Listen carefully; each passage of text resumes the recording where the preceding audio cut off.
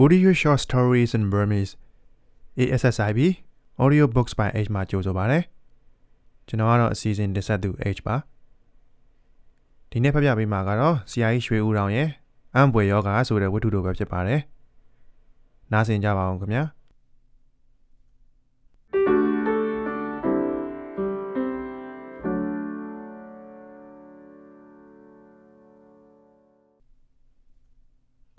ဗိုလ်ချုပ်တို့တည်ဆုံပြီးသည့်နောက်ရဲတပ်ဖွဲ့နှစ်ပတ်ခန့်အကြာတွင်ကျွန်ုပ်သည်စာတိုင်းမှာပါဆယ်တုပ်တစ်ခုရရှိသဖြင့်ဖွင့်ကြည့်လိုက်ရတွင်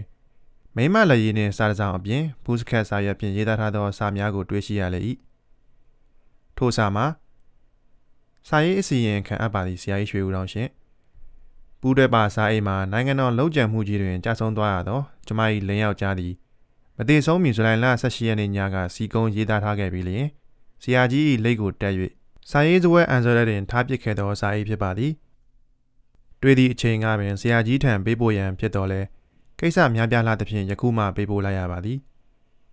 ကျမ၏လင်းယောက်ျားစီကုံရေးသားခဲ့သော၎င်းစာများကို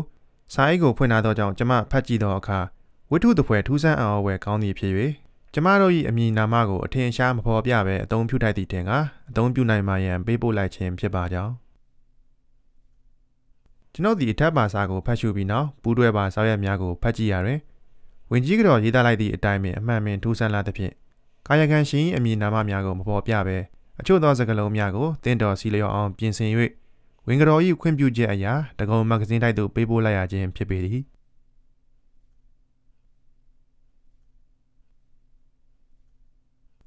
1946ခုနှစ်မတ်လတွင်ကျွန်ုပ်သည်ရှမ်းပြည်မြောက်ပိုင်းတီယောနိုင်၌နှစ်စဉ်ကျင်းပမည်ဖြစ်သော ဘော်ဂျိုဖျားပွဲတော်သို့တစ်ချိန်တစ်ခါမှမရောက်ဘူးသဖြင့်အိမ်သားတစုတို့နှင့်အတူတွားရောက်ခဲ့၏တပေါင်းလာဆန်း73ရက်နေ့ညနေခင်းအချိန်တွင်ဘော်ဂျိုဖျားပွဲသို့ဆက်ရောက်ကြ၍ကစားသမားများအတွက်အသင်းဆောက်လုပ်ထားသောကတ်မိုးကတ်ကအခန်းကလေးတစ်ခုတွင်ပွဲမပြီးမချင်းငွေ15ကျပ်နှင့်အိမ်သားတစုနေထိုင်ကြရန်စီမံကြလျက်ဂုံစီရရှိလူကြီးလူကောင်းတယောက်ဖြစ်သောကြောင့်မိတ်ဆွေများကကြောင်မဲမျိုးတွေ၌တဲခို၍ဖျားပွဲသို့တနေ့တစ်ခေါက်သွားရန်ပြောကြတော့လဲ လာရသည့်အတူဘွဲစကန်အတွင်း၌တဲခိုနေထိုင်ရခြင်းကသာတာ၍ပျော်ဖို့ကောင်းသည်ဟုအိမ်သူအိမ်သားများကပြောကြသည့်အလျောက်ထိုကဲ့သို့တဲခိုနေထိုင်ရခြင်းဖြစ်လေ၏ဘောဂျိုဖျားဝဲမှာရှမ်းပြည်နယ်အတွင်း၌ကျင်းပသောဖျားပွဲမျိုးများအနက်တွင်အစီကားဆုံးဖြစ်ပြီးမြန်မာပြည်ပိုင်းမှမြန်မာလူမျိုးတို့အများဆုံးသွားရောက်ကြသောဖျားပွဲကြီးတစ်ခုဖြစ်ပေ၏တို့ရတွင်၎င်းပွဲတော်သို့သွားကြသောမြန်မာများအနက်36កောင်နှင့်4កောင်ချင်းပါထန်ဆက်သောလောင်ကစားနီးများကိုဝါသနာပါသူတို့သာလျှင်များလာပေ၏ စင်စစ်တော်အပြင်ကုသိုလ်ရေးအတွက်သွားသူတို့မှာတရားခိုင်နှုန်းဖြင့်မပြည့်သဖြင့်တသမဖွဲ့ဖော်ပြရပေလိမ့်မည်ကျွန်ုပ်မှလည်းအမှန်ကိုဆိုရလျင်ကုသိုလ်ရေးကြောင့်မဟုတ်၎င်းဖျားပွဲသို့ရောက်ဖူးသောမိတ်ဆွေတယောက်ကအလွန်တရာပြောစရာကောင်းသည်ဟုအချင်းချင်းပြောဘူးသည့်တိုင်အခါခွင့်လည်းတင်းသည့်အားလျော်စွာ၎င်းတပေါင်းလာကတွားခဲ့ရခြင်းဖြစ်ပေသည် ကျွန်ုပ်တို့မိသားစုသည်အလျား15ပေအနံ10ပေခန့်ရှိသောတဲကန်လေးတစ်ခုတွင်တဲခိုကြ၍အစီကံနှစ်ယောက်တို့ကအခန်းကိုရှင်းလင်းပြီးနောက်ကော်စောများခင်းချင်း၍မိမွေသူမွေဈေးဝယ်သူဝယ်ချက်သူချက်ပြုတ်သူပြုတ်အလုံးများလေးရှိကြတော့လေဖျားပွဲတို့ထုံးစံအတိုင်းကျွန်ုပ်တို့အိမ်သူအိမ်သားများမှာပင်မသည်မအောင်မေပဲကြည်နူးပျော်ရွှင်စွာအလုံးလုံးလျက်ရှိကြလေ၏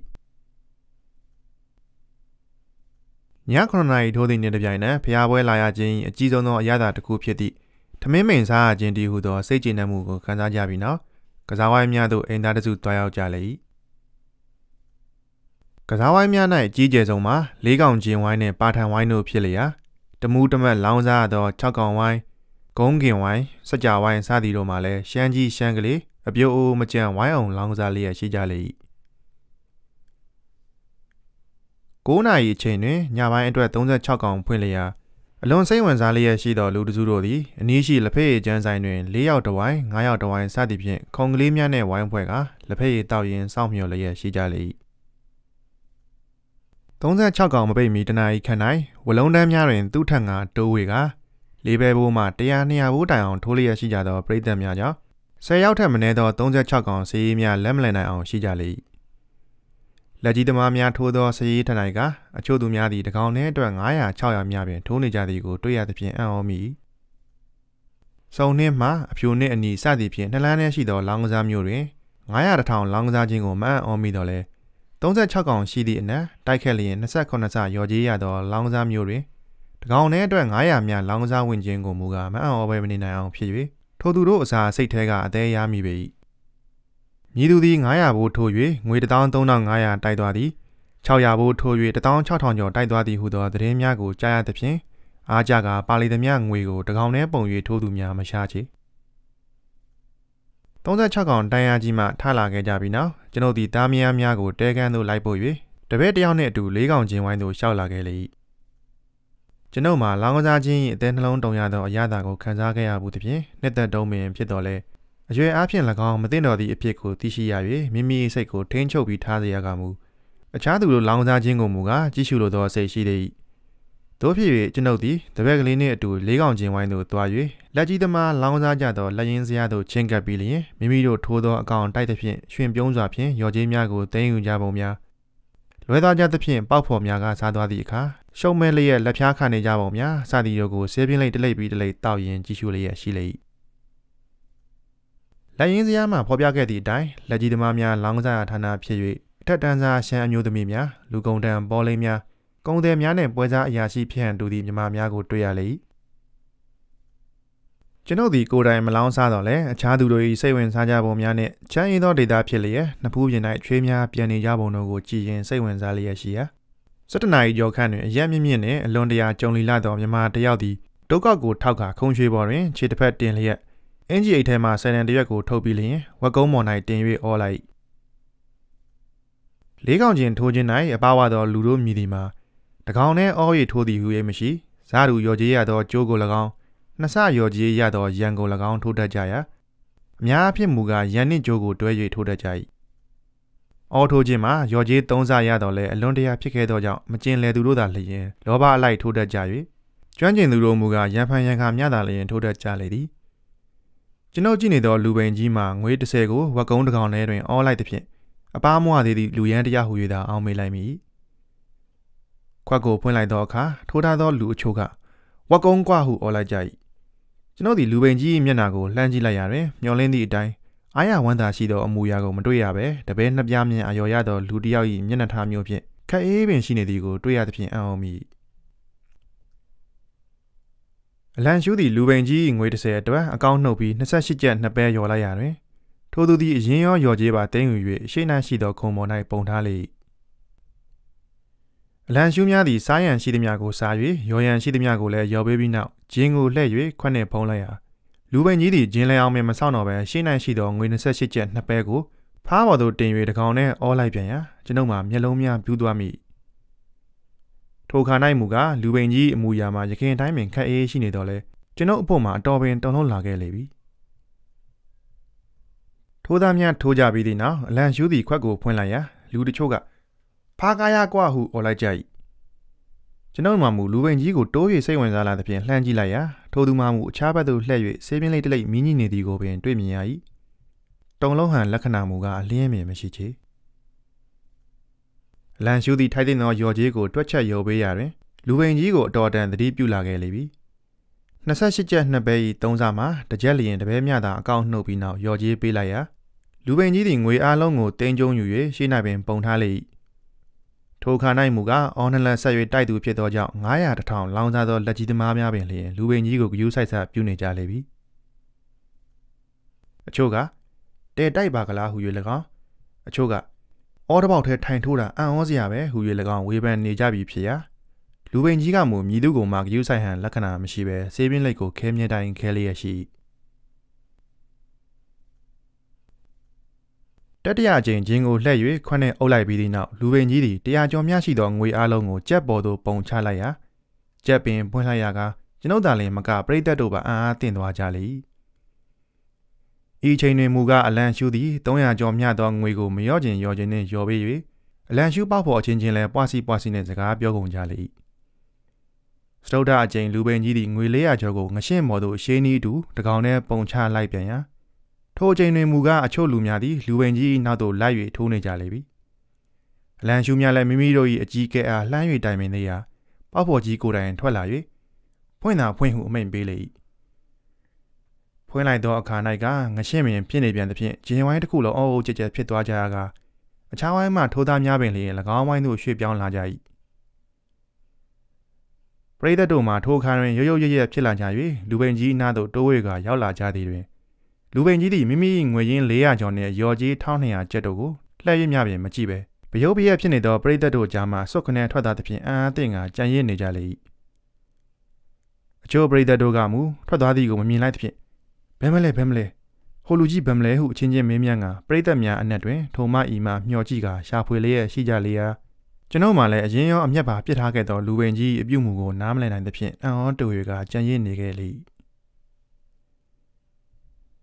ထိုင်လူကြီးသည်လူပင်ကြီးထားခဲ့သောငွေများကိုလူအလုံးရှိတွင်ရေတွက်၍တင်းယူထားပြီးနောက်ဆက်လက်ကစားကြပြန်လေရာ ကျွန်ုပ်မှမူ၎င်းတို့လောင်းကစားခြင်းကိုများစွာစိတ်မဝင်စားတော့ပဲလူပင်ကြီးအကြောင်းကိုသာလျှင်စဉ်းစား၍နေမိသဖြင့်ကျင်ဝိုင်းမှထွက်လာ၍တဲအိမ်သို့ပြန်လာခဲ့လေထိုညတညလုံးတွင်ကျွန်ုပ်မှအိမ်မပြောနိုင်မဲ့လူပင်ကြီးမျက်နှာသည်သာတွဲဝဲပေါ်လာ၍လူသားစင်စစ်ပင်ဟုတ်ပါလေ၏လောမော်အတက်အောင်သည်ခွက်ပေါက်စေရှိသည်ဆိုသောစကားများမှာအမှန်တကယ်ပင်ဟုတ်လေ၏လောစသည်ဖြင့်အမျိုးမျိုးတွေးတော့ကအဲ့ရတဲ့နိုင်တလိန်လိန်တလုံးလုံးဖြစ်နေလေတော့၏ နောက်တစ်နေ့နနက်၌အိမ်သားတစုတို့သည်ဖျားဝဲအနီး၌ရှိသောချောင်းထဲသို့ရေချိုးရန်ထွက်လာခဲ့ကြရာရေစိတ်သို့ရောက်ကြ၍လူအများချိုးကြသောနေရာတွင်ရေချိုးမြည်ဟုအဝတ်များလဲလှယ်စဉ်ချောင်း၏အထက်ပေတရာခန့်ကွာသောနေရာတွင်တယောက်တည်းရေချိုးလျက်ရှိသောလူတစ်ယောက်ကိုမြင်မိသဖြင့်သတိပြု၍ကြည့်မိထိုသူမှကြောက်တုံးမော်တွင်ထိုင်၍ဆက်ပြာနှင့်ဂျေးတိုစဉ်ပြန်ကြိုင်ထားလျက်ရှိသောနံရိုးများကိုမြင်လိုက်ရသဖြင့်ရမန်ညားကလူကြီးပင်ဖြစ်လေသလိုဟုအံ့ဩစွာငေးကြည့်နေစဉ် ကျွန်ုပ်ဘက်သို့မျက်နှာလှည့်လိုက်သဖြင့်ထိုလူကြီးပင်ဖြစ်ကြောင်းသိရ၏ထိုအခါကျွန်ုပ်မှာအလွန်ထူးဆန်းသောလူပင်ကြီးကိုတွေ့လိုသောနှင့်သားများများကိုအော်ပြောခဲ့ပြီးလျှင်ထိုသူရှိရသို့ရှောက်လာခဲ့လေ၏အနီးသို့ရောက်သောအခါကျွန်ုပ်ကမင်းညတုန်းကလေးကောင်ချင်းဝိုင်းမှာခမည်းထိုးသမျှတိုက်တာကြီးပါကလားခမည်းသိက္ကံကောင်းတာပဲလူပိန်ကြီးကမရှင်ပြသောမျက်နှာထားဖြင့်ကျွန်ုပ်အားတစ်ချက်တည်းလှမ်းကြည့်၍မျက်နှာလွှဲသွားပြီးနောက်ကံအလုတ်လို့ခမည်းထင်သလား ကံအလုတ်ဆိုရင်လည်းကံကောင်းတာမဟုတ်ဘူးဆရာကြီးကျုပ်ဖို့ကံဆိုးတာဗျဘယ်နဲ့ပြောတာလဲခမည်းခမည်းထိုးသမျှအားလုံးတိုက်ပြီးရော်ကျေးတွေရနေတာများကံဆိုးသေးသလားဗျာဒါထက်ရော်တဲ့ငွေကိုခမည်းယူမသွားတာများတတိယသေးရဲ့မဟုတ်လားဘဲနဲ့မရပဲရှိမလဲနို့ဗျာငွေတွေဒီလောက်နိုင်တာကံကောင်းတာမဟုတ်သေးဘူးလားဗျကံဆိုတဲ့အလုပ်ဟာမတော်တဆဖြစ်မှကံလို့ဆိုနိုင်တယ်ဗျကျုပ်အလုပ်ကမတော်တဆမဟုတ်ဘူး ဘာကောင်ပေါ်လိမ့်မယ်ဆိုတာတည်တည်ကြသိပြီးသားဗျခမရခါတိုင်းခါတိုင်းဒီလိုပဲသိတယ်ပေါ့လေခါတိုင်းပဲကြုတ်သိတယ်ဒါကြောင့်ကြုတ်မှာအခက်တွေ့နေရတာပေါ့ဒီပွဲကိုကြုတ်လာရခြင်းဟာလဲကျုပ်ကဆရာဝန်ကအိမ်ထဲမှာကြီးပဲတကုတ်ကုတ်တွေးမနေနဲ့တဲ့ပွဲလန်းသပင်နဲ့စီစီကကရှိတဲ့နေရာကိုရှောက်လေရမယ်ဆိုလို့ကြုတ်လာခဲ့ရတာပါဗျာ။အော်ခမရမကြမ်းပါဘူးလား။မကြမ်းပါတော့မပြောပါနဲ့တော့။ ကျုပ်ယောဂကလည်းတိတ်ဆန်းတဲ့ယောဂဗျ။ဘယ်ဆရာဝန်ကမှကျုပ်ဝေဒနာမျိုးကိုမကြုံဘူးလို့ဘယ်လိုယောဂဆိုတာဘယ်သူမှမဆုံးဖြတ်နိုင်ဘူး။အခုတိုင်းသာနောင်ဖြစ်မဲ့ဟာတွေကိုကြိုကြိုပြီးသိနေရင်တော့အလိုနောင်ဖြစ်မဲ့ဟာကိုကြိုတင်ပြီးသိတာယောဂကလားဗျာဘယ်အရာမဆိုလောကဓာတ်ပညာအရာမှာအစင်လာတိုင်းဖြစ်ရမယ်တဲ့ဗျအစင်လာဖောက်ပြီးတခုခုကွဲလွဲရင်ဒါဟာယောဂလို့ဆိုရမယ်တဲ့ဗျ ဖြစ်မှဖြစ်ရလေဗျာကြိုတင်ပြီးသိတာကိုသာယောဂဆိုရင်ဒီယောဂမျိုးကျွန်တော်ဖြစ်စမ်းချင်ပါပြီဗျာ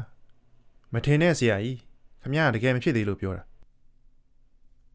နို့နေပါအောင်ဗျာရှေ့ကဘာ40နောက်ကဘာ40ကြိုတင်ပြီးမြင်တဲ့ရသေးကြီးတို့ရဟန္တာတို့ဆိုတာတွေကဘဲနာလဲဗျာသူတို့တော့တမထအစွမ်းဇာမင်းကြီးအစွမ်းနဲ့အသိမြင်တဲ့အတွက်မြင်သမျှကိုအတုံးချတတ်လိမ့်မလားမဆိုနိုင်ဘူးကျုံမှဖြင့်ကြိုတင်သိရတဲ့အတွက်ဒုက္ခဖြစ်နေတာလက်တွေ့ပဲ ပြောစမ်းမအောင်ဗျာနောင်ဖြစ်ကိုကြိုတင်ပြီးသိထားတာဘယ်နဲ့လုပ်ပြီးဒုက္ခဖြစ်ရမလဲဖြစ်ပုံပြောစမ်းမအောင်ဒီလိုဗျပထမတော့ကျုံမှအိမ်မပြောစားမဝင်နဲ့ခွန်အားနေတဲ့ယောဂဆွဲကက်နေတနေ့တော့လူတစ်ယောက်ကမိုးတွေအုံနေတာတွေ့လေတော့သူ့ကိစ္စအတွက်ခီးထွက်လို့တော်ပါတော်ပါမလားလို့ညီးတွားနေတော့ဘုံဆိုကျုပ်ကသွားတာသွားပါမိုးမရပါဘူးည7နာရီလောက်မှရွာမှာပါလို့ပြောလိုက်မိတယ်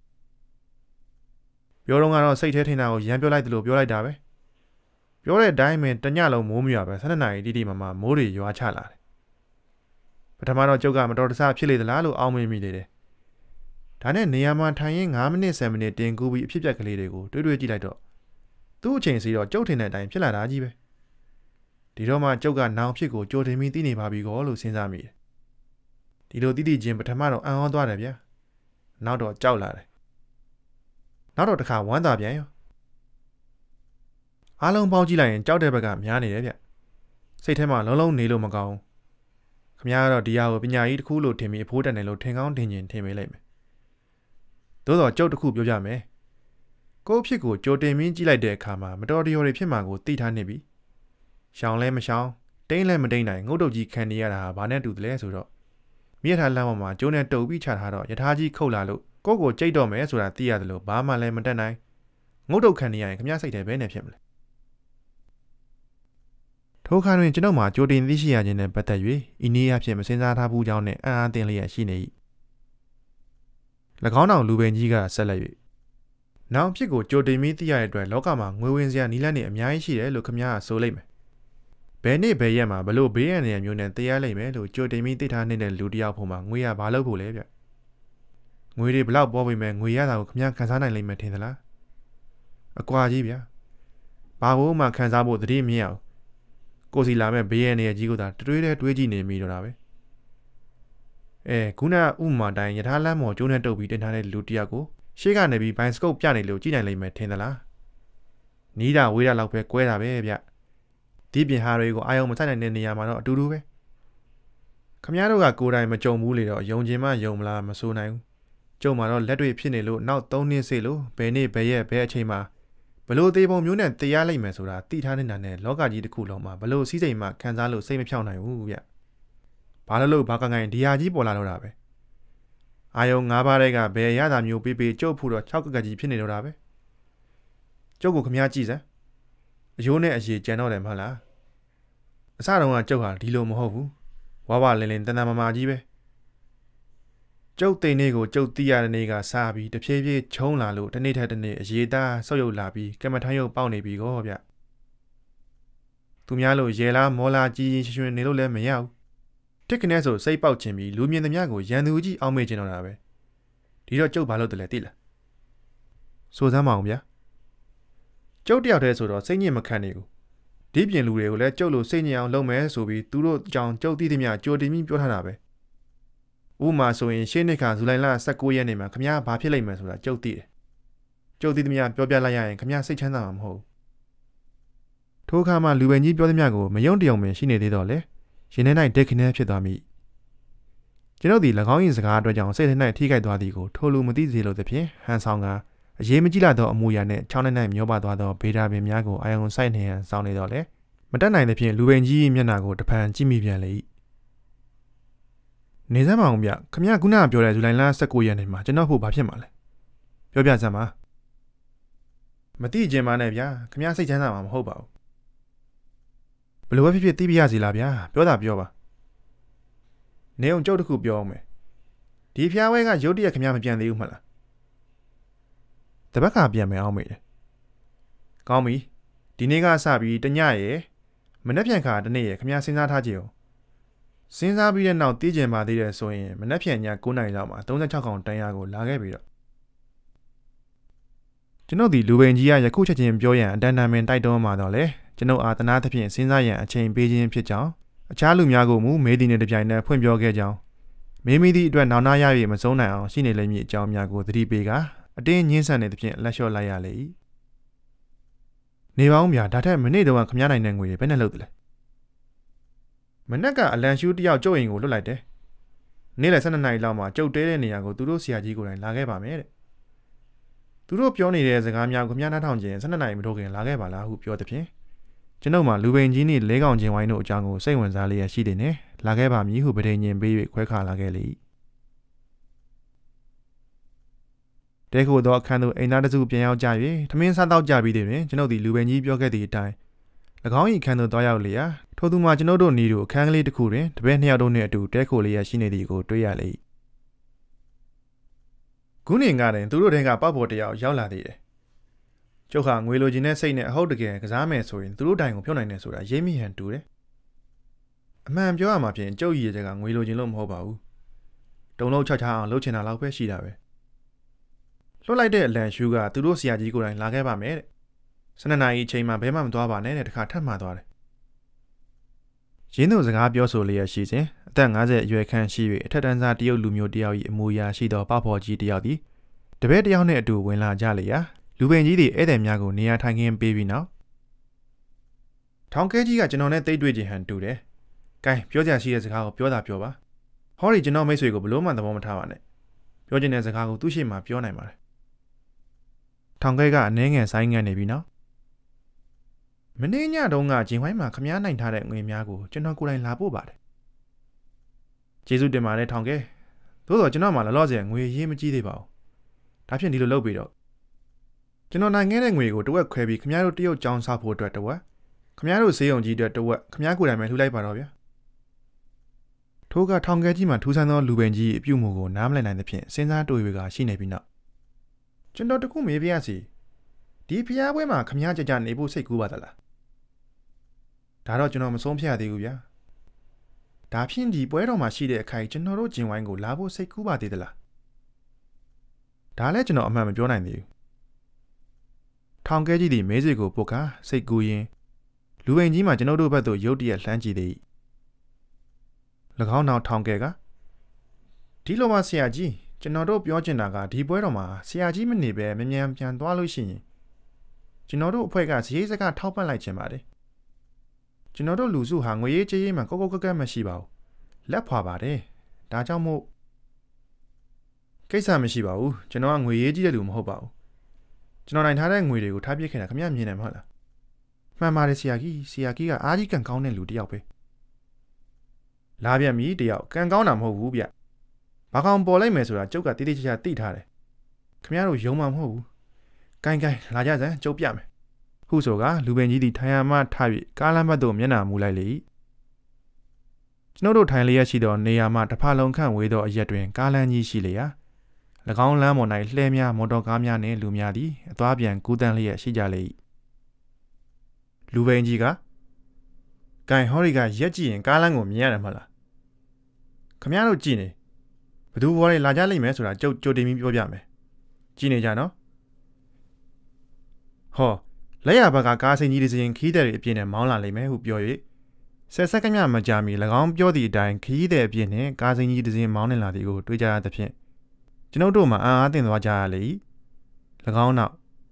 ဟောအခုလာမှကနွားလဲကြီးဗျလက်ဝဲဘက်ကနွားကြားကြီးလက်ရဘက်ကနွားနက်ကြီးလှဲသမားခမောက်ဆောင်လို့လှဲပေါ်မှာရှမ်းအမျိုးသမီးနှစ်ယောက်နဲ့ရှမ်းအမျိုးသားတစ်ယောက်ပါတယ်ဟုပြောပြီးသည့်နောက်မကြာမီအတွင်း၎င်းပြောသည့်အတိုင်းပင် မောင်းနှင်လာသည်ကိုတွေးကြရလေ၏။ကိုင်းဒီတစ်ခါတော့လက်ဝဲဘက်ကလာလိုက်မယ်။ရှမ်းကြီးတစ်ယောက်ကသားကလေးကိုပခုံးပေါ်မှာထမ်းလို့နောက်တစ်ယောက်ကရှမ်းမျိုးသမီးကြီးကသမီးကလေးကိုစောင်းနဲ့ပက်ပြီးကြောပို့လို့လာကြလိမ့်မယ်ဟုပြောပြီးသည့်နောက်တွင်ကွန်းတရာညက်မကြမီ၎င်းပြောသည့်အတိုင်းရှမ်းမျိုးသားကြီးနှင့်ရှမ်းမျိုးသမီးတို့သည်ကလေးကိုစီနှင့်ရှောက်လာသည်ကိုတွေးမြင်ကြရလေ၏ကျွန်ုပ်တို့ရက်ကြည့်နေကြသောနေရာမှလမ်းပေါ်သို့ကြည့်လိုက်သည့်အခါ ခီးသည်များသည်တစ်ဖက်ခြုံများမှတစ်ဖက်ဇီးရကြီးများကိုကျော်လွန်၍ရုတ်တရက်ထွက်ပေါ်လာကြခြင်းဖြစ်သောကြောင့်ကြိုတင်သိမြင်နိုင်ရန်မြည်သည့်နည်းနဲ့များဖြစ်နိုင်မို့ရန်မရှိလျာကထောင်ခဲကြီးဆရာတပည့်နဲ့ကျွန်ုပ်တို့မှာလူပိန်ကြီးကြိုတင်သိမြင်နိုင်သည်ဆိုသောအစွမ်းတက်တီကိုမယုံကြည်ပဲမနေနိုင်အောင်ရှိနေကြလေတော့၏ကိုင်းဘဲနဲ့လည်းထောင်ခဲကျုပ်စွမ်းကိုခမရမြင်မိမှာလားခမရတို့ဂျင်ဝိုင်းမှာကျုပ်ထိုင်ပြီးထိုးနေရင်တနေ့လုံးတညလုံးတလဲမှမလွဲနိုင်အောင်ကျုပ်ထိုးနိုင်တယ်ဗျ ဟုပြောလိုက်တဲ့ဖြင့်ထောင်ခဲကြီးမျက်နှာပြတ်သွားသည်ကိုမြင်ရသောအခါလူပိန်ကြီးသည်စိတ်ထဲ၌အရသာခံစားနေသည့်လက္ခဏာရှိမလောက်ပါနဲ့ဆရာကြီးရဲ့ခမရထိုက်ထိုးယူရင်တနာရီနဲ့ကျုပ်တို့ဆက်ထားတဲ့ငွေတွေအလုံးကုန်သွားပါလိမ့်မယ်ခမရလာထိုးမှကြောက်လို့ဂျင်ဝိုင်းကိုပိတ်လိုက်ရင်ကျုပ်တို့မှာဂျင်ဝိုင်းအတွက်ငွေနဲ့တောင်းပေးပြီးလလန်ဆွဲထားတဲ့အတွက်အလန်ရှူးတွေဇရိတ်စကရောဘာရောငွေ3000လောက်ရှုံးရပါလိမ့်မယ်ခမရလိုချင်တာသာပြောပါကျွန်တော်တို့ပေးပါမယ် ဒီလိုမှမဟုတ်ရင်လဲကျွန်တော်တို့အလုပ်ထဲမှာခမရအဆုဆက်ပါရင်ပါပါလေးပုံတစ်ပုံပါခြင်းပါသုံးပုံတစ်ပုံပါခြင်းပါတော့ပါခြင်းပါဗျာထိုအခါလူပိန်ကြီးသည်တစ်ဖက်သား၏ထိတ်လန့်တုန်လှုပ်ခြင်းကိုရတာခံစားဟန်လက္ခဏာနှင့်ဆေးလိပ်ကိုပွာရင်းခြေထောက်ကိုစုံစင်းလျက်ရှင်ပြုံးသောမျက်နှာဖြင့်ကြည့်နေလေ၏ထို့နောက်မှဒီလိုလဲကြုံမလို့ခြင်းမဟုတ်ထောင်ကဲခမရတို့ဂျီဝိုင်းကိုကျုပ်ကအပြင်းပြေကစားတာပါနောက်တစ်ခေါက်လာခြင်းလာမယ်မလာခြင်းမလာဘူး ကျုံမပြောနိုင်သေးပါဘူး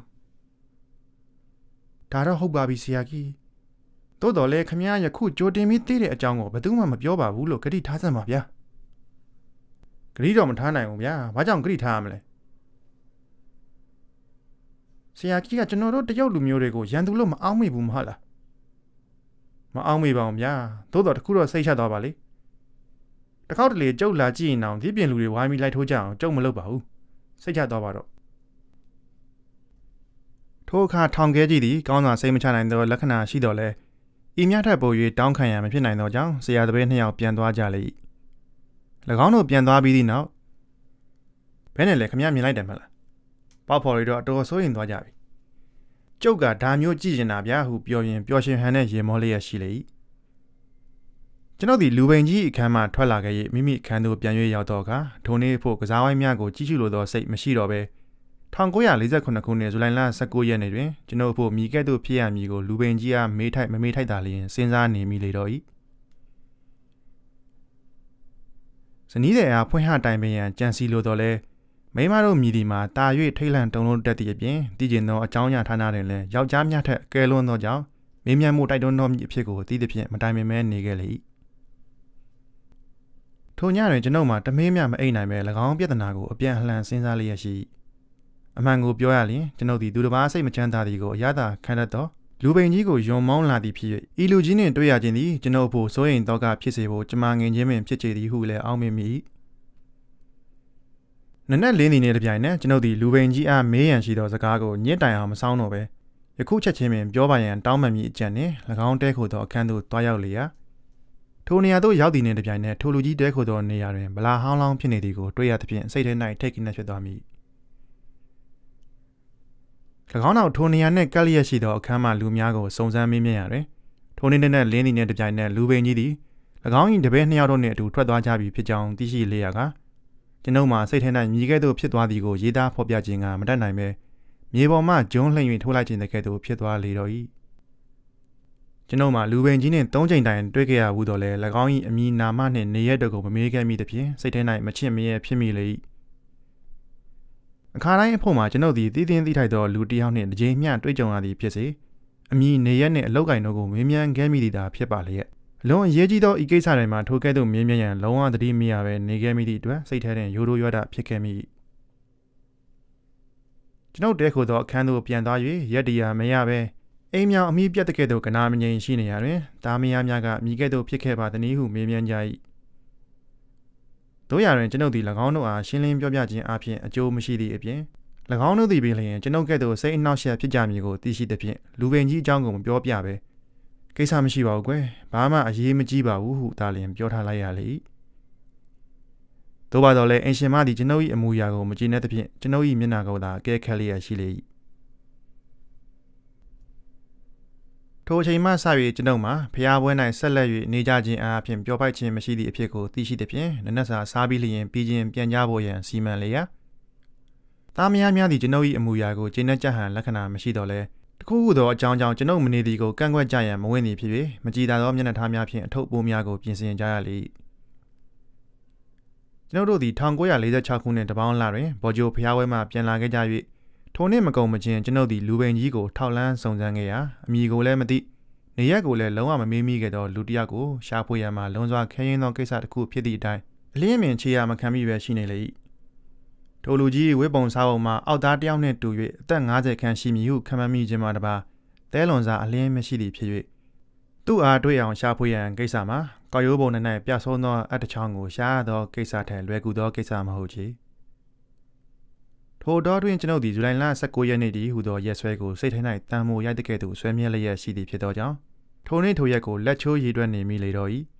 စား၍လည်းမဝင်အဲ့၍လည်းမပြော၎င်းနေ့ရက်၌မိကဲ့သို့ဖြစ်ချင်မည်နည်းဟုတွေးတောခြင်းအပြင်အချိန်ကုန်ခဲ့မိသောကျွန်ုပ်မှာအရေးအသားဆုပ်ယုပ်စာပြုလာခဲ့ချေပြီ6လက်ခန့်ကြာရှိသောအခါကျွန်ုပ်မှာလူပိန်ကြီးကိုရှာ၍တွေးနိုင်တော်မည်မဟုတ်ဟုလုံးဝလက်လျှော့၍ ဖြစ်ချင်ရန်ဖြစ်စေတော့ဟုမျက်စိစုံမိတ်ထားရန်တဏိဌံချထား၍နိုင်ငံရေးနှင့်ပတ်သက်သည့်အလုပ်ကိစ္စများတွင်စိတ်ဝင်စားရန်ကြိုးစားခဲ့လေလူတို့၏တဘာဝမှာတစုံတစ်ခုသောအရာကိုသိလသောနှင့်မျောလင်းဆောင်ဆိုင်လျက်ရှိစဉ်စိတ်ထဲ၌ခုလူခုလူဖြစ်၍ရက်တရာမရပဲဖြစ်တတ်တော်လဲစိတ်ပြေသောလူအနှဲငယ်တို့မူကားတခုသောအရာကိုလက်လျှော့လိုက်သည့်နှင့်တပြိုင်နက်အထိုက်လျောက်တက်တာရရတတ်သည်၏မြည်သောပင်ဖြစ်စေကျွန်ုပ်ဖို့မှမူ၎င်းနှင့်စိတ်ကုန်၍ဇန်နဝါရီလဆန်းသည့်နှင့်တပြိုင်နက် လုံးဝလက်လျှော့ခဲ့သောတဏိဋ္ဌံအတွက်ကြောင့်မအိမ်နိုင်မစားနိုင်အဖြစ်မှလည်းအတော်တန်တက်တရာရခဲ့၍အရေးသားတိုးတက်လာသဖြင့်တားမယားများမှဝမ်းမြောက်ဝမ်းသာဖြစ်လာကြလေ၏ထိုတော်တွင်၌ကျွန်ုပ်သည်သားသမီးများကိုမသိရှိသေးတော့လေဇနီးဖြစ်သူမိုကဖုံးကွက်ထားခြင်းအပြင်အလုပ်ပိုတစ်ခုဖြစ်နေသည့်အကြောင်းကိုသိရှိသဖြင့်လူပိန်ကြီးအကြောင်းကိုအလုံးစုံပြောပြလိုက်လေ၏ကျွန်ုပ်၏ဇနီးတဲ့သည်လူပိန်ကြီးကိုကိုယ်တိုင်မတွေ့ဘူးသဖြင့်၎င်း၏အစွမ်းကိုကျွန်ုပ်ကဲ့သို့မယုံကြည်သည့်အပြင် လင်းယောက်ျားအားစိတ်သက်သာရာရစေခြင်းကဖျားယဟန္တာမဟုတ်သူတယောက်၏စကားကိုယုံကြည်ဖို့မထိုက်သဖြင့်ထိုလူ၏စကားနှင့်ပတ်သက်၍စိုးရိမ်တော့ကမဖြစ်ဘဲနေမြဲတိုင်းသာလျင်လောက်ကင်နေထိုင်မှုအားပေးစကားပြောကြားသည်စင်စစ်မှမူမိမသားဖြစ်သည့်အတွက်လူပိန်ကြီး၏စကားကိုကျွန်ုပ်ထပ်ပင်လေးစားဟန်တူတော်လဲလင်းယောက်ျားစိတ်သက်သာခွင့်ရစိမ့်သောငါမထီမဲ့မြင်ပြုဟန်ဆောင်ကပြောဆိုသည့်လက္ခဏာရှိဇန်နဝါရီလ1ရက်နေ့တွင်အထက်ပါတန်းထန်ကိုချထား၍ဇန်နဝါရီလ9ရက်နေ့တွင် ကျွန်ုပ်ဒီကိစ္စတစ်ခုနှင့်တာစီမမြင်းကြံသို့သွားသောမိရထားပေါ်တွင်ဒုတိယတန်းတစ်ဖြင့်လိုက်ပါသွားရာတတွဲလုံးနှင့်ကျွန်ုပ်မှတပါကတ်တုတ်တုတ်နှင့်တဟဟရေမောတက်သည့်လူတယောက်သာလျင်လိုက်ပါလာလေ၏ဒါစီမယထာထွက်လာသောအခါတွင်ခီးသည်တို့သည်ထုံးစံအတိုင်းကိုယ်သတင်းစာကိုဖတ်လျက်လိုက်ပါလာကြရမှညနေချင်းဆိုင်နေရာတွင်ထိုင်လျက်ရှိသောထိုသူသည်အိမ်သာခန်းသို့ထသွား၍ပြန်လာသောအခါတွင်မှကျွန်ုပ်သည်ထိုသူ၏မျက်နှာကိုဂရုစိုက်၍ကြည့်မိမြင်လိုက်ရသည်နှင့်တပြိုင်နက်ကျွန်ုပ်သည်ထိုသူကိုမြင်မှုပါသည်ဟုစိတ်ထဲ၌အောင်းမေးမိတော့လဲ မြည်သည့်နေရာ၌တွေ့ခဲ့ဘူးသည်ဟုရဲ့မူကားအလင်းမြင်ဖော်၍မရနိုင်အောင်ဖြစ်နေလေ၏အချို့သူတို့၏သဘာဝတစ်ခုမှာတစုံတစ်ခုကိုစဉ်းစား၍မရမချင်းအခြားကိစ္စများကိုမလုပ်ကင်နိုင်ပဲထိုအာယုန်နဲ့တွဲဝဲလည်နေတတ်သည်ဖြစ်ရာကျွန်ုပ်မှလည်း၎င်းသဘာဝမျိုးရှိသည်ဖြစ်၍သတင်းစာတွင်စိတ်ဝင်စားရမဖြစ်နိုင်တော့ပဲလက်မှသတင်းစာကိုချကာမိတ်ဆွေကိုကျွန်တော်မြင်မှုတယ်ထင်ပါတယ်ဟုလှမ်း၍ပြောလိုက်ရ၏ထိုသူသည်ဖတ်နေသောသတင်းစာကိုချထား၍ကျွန်ုပ်၏မျက်နှာကိုစိတ်စိတ်ကြည့်ပြီးနောက် ကျုပ်လည်းခမည်းကိုမြင်မှုတယ်ထင်တာပဲနေစမ်းမအောင်ဗျာဘောချိုဖျားဝဲကိုခမည်းရောက်ဖူးသလားမနေ့ကတပေါင်းလာကတခါရောက်ခဲ့ဘူးပါတယ်ရင်းကဲ့သို့ဖြေဆိုစဉ်တွင်ကျွန်ုပ်သည်လူပိန်ကြီးကိုရုတ်တရက်သတိရလာ၍၎င်း၏မျက်နှာနှင့်ကျွန်ုပ်၏ရှေ့၌ယခုရှိနေသူ၏မျက်နှာတို့ကိုနှိုင်းယှဉ်၍ကြည့်ရတွင်မျက်လုံးမျက်ခုံးနှာရန်စသောအစိတ်ပိုင်းတို့တူညီသောအဖြစ်ကိုရုတ်တရက်သိမြင်ရသဖြင့်စိတ်ထဲတွင်ထိတ်ခနဲဖြစ်သွားမိလေ၏ထိုသူက ဟုတ်ပြီဗျို့ကျုပ်သတိရလာပြီခမရကိုဘောဂျိုဖျားဝဲမှာတွေ့ခဲ့ဘူးတယ်ထိုကကျွန်ုပ်ကဟာကျွန်တော်လည်းသတိရပါပြီခမရပြောဦးတဲ့စကားကြောင့်ကျွန်တော်မှနေမတိထိုင်မတိဖြစ်ပြီးစိတ်ဆင်းရဲလိုက်တဲ့ဖြစ်ချင်းဗျာဘာပြောကောင်းမလဲဆရာကြီးရေခမရကနောက်တနေ့ညမှာပြောမယ်ပြောမယ်ဆိုပြီးဘယ်နဲ့ကြောင့်ရုတ်တရက်ပျောက်သွားတာလဲတီးခံပါဗျာအိမ်ကသားမယားများကအရေးကြီးတဲ့ကိစ္စတစ်ခုနဲ့အခေါ်လွှတ်လိုက်တဲ့လူကညာရင်းချင်းရောက်လာလို့ခမရနဲ့ချိန်ထားတာကိုလုံးဝသတိမရပဲ မိုးလင်းချင်းထောက်ခါခဲ့ရလို့ပါဗျာဂရိထားခဲ့ပြီလို့ရှိရင်ကျွန်တော်အပြစ်ကိုတောင်းပန်ပါတယ်ခမရကိုကျွန်တော်ရှာလိုက်ရတာဗမာမှသတင်းမရလို့လုံးဝလက်လျှော့ပြစ်လိုက်ရတာ၄၅ရက်ပဲရှိပါသေးတယ်။ကိုင်းများဒီဟာတွေအသာထားပြီးဒီနေ့ဇူလိုင်လ19ရက်နေ့မှာကျွန်တော်တက်ဘာဖြစ်မယ်ဆိုတာပြောပါတော့ခမရကျွန်တော်ဤစကားကိုကြားရတော့အခါထိုသူသည်စူးစမ်း၍စဉ်းစားသောအမူအရာနှင့်ဦးခေါင်းကိုအချိန်ချင်းပုတ်တက်ပြီးနောက်ကျွန်တော်ဤမျက်နှာကိုကြည့်လျက် တီးခံပါဗျာကျွန်တော်ဘာမှမမှတ်မိလို့ပါဟိုတော့ကယောဂဆွဲကက်လို့ကျွန်တော်အုံနောက်မှာထင်းမိထင်ရတယ်ပြောမိပြောရတယ်ပြောခဲ့တာအခုတော့ဘီလက်ကရောက်လာတဲ့ဆရာဝန်နဲ့ကုသလို့ဒီယောဂပျောက်သွားပြီဟိုတော့ကဟာတွေကိုကျွန်တော်ဘာမှမမှတ်မိတော့ပါဘူးခင်ဗျာခင်ဗျားကိုကျွန်တော်တခုပြောခဲ့ဘူးတာဆိုတာတော့သတိရရဲ့ဘလို့ဖြစ်လိမ့်မယ်ဆိုတာတော့ကျွန်တော်ဖော်လို့မရတော့ဘူးအခုလည်းစဉ်းစားလို့မရဘူးဒီယောဂပျောက်သွားတဲ့ကကျွန်တော်မှစားလို့တောက်လို့ကောင်းပြီးဘဝဖြိုးဖြိုးဖြစ်လာတာခင်ဗျားမြင်တဲ့အတိုင်းပါပဲ ခမည်းစားတော့ကောင်းတာကိစ္စမရှိပါဘူးခမည်းပြောဦးတဲ့စကားကြောင့်ကျွန်တော်မှမစားနိုင်မတောက်နိုင်ဖြစ်နေတာခက်တယ်ဆရာကြီးရဲ့စူးစမ်းပြီးစဉ်းစားပါအောင်ဗျာဝမ်းနေပါတယ်ဗျာကျွန်တော်အများကြီးဝမ်းနေပါတယ်ဝမ်းနေတာအသာထားပြီးဖုန်းနိုင်အောင်စူးစမ်းစမ်းမအောင်ခင်ဗျာထို့သူသည်ဦးကောင်းကိုပုတ်ခါ10မိနစ်မြစဉ်းစားပါတော့လေအချီးနေပင်ရှိလေတော့၏ထိုတော်တွင်၌ကျွန်ုပ်၏စိတ်ထဲတွင်အကြံတစ်ခုဖြစ်ပေါ်လာသည်မှာထိုလူသည်ကျွန်ုပ်စိတ်ဆင်းရဲစေသောစကားကိုပြောခဲ့ဘူး၏ ယခုအခါထိုလူသည်သုံးနှစ်စေသောအချိန်တွင်၎င်းဖို့မြည်ကဲ့သို့ဖြစ်လိမ့်မည်ဟုသောအချင်းရာကိုမေးပြောင်းနေဟန်တူ၏လက်စားချေသောသဘောနှင့်ထိုအချင်းရာကို၎င်းအားအသိပေးလိုက်ရလျင်ကောင်းလိမ့်မည်မဟုတ်လောဟုသောအကြံသည်ကျွန်ုပ်၏စိတ်ထဲ၌ဖြစ်ပေါ်လာခဲ့၏ရင်းသောရှိစဉ်လူပိန်တယောက်၏အဖြစ်မှာဘဝဖြူဖြူရှိသောလူတယောက်အဖြစ်သို့ပြောင်းလဲခြင်းကိုကျွန်ုပ်မြင်ရသည်ဖြစ်၍ထိုကဲ့သို့ဖော်ပြလိုက်လျင်ရက်ဆက်ရာကြားလိုက်မည်ဟုကျွန်ုပ်စဉ်းစားမိပြန်သည်နှင့်ကြီးတုံချတုံဖြစ်နေလေ၏ ထိုသူသည်၎င်း၏စကားအတွက်ကျွန်ုပ်စစ်ဆင်းရခြင်းဆိုသည်ကိုယူကျုံမရရှိနေသောအမူအရာနှင့်ကျွန်ုပ်အားအတန်တန်တောင်းပန်စကားပြောကြားလေရာက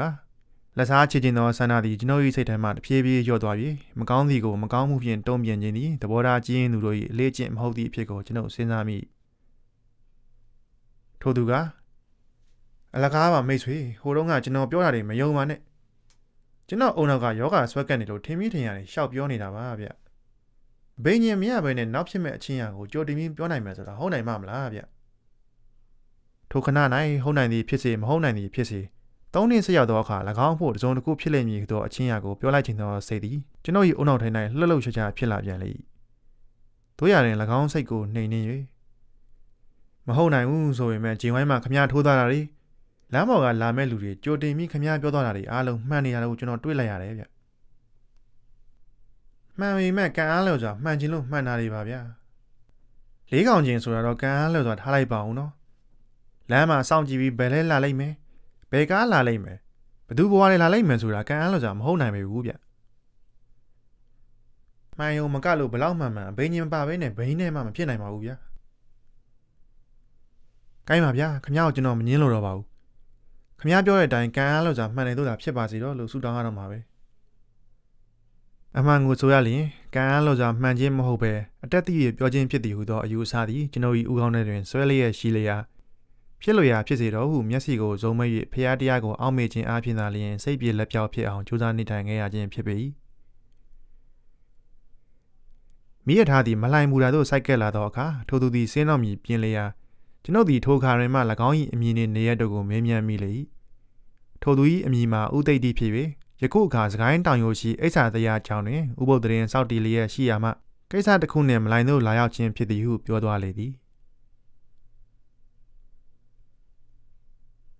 ကျွန်ုပ်သည်ဇူလိုင်လ19ရက်နေ့တွင်တစုံတစ်ခုဖြစ်လိမ့်မည်ဟုကြိုတင်ပြောပြသွားသောထူးဆန်းသည့်ယောဂတဲ့ကြီးဦးသိဋ္ဌိစကားအရာ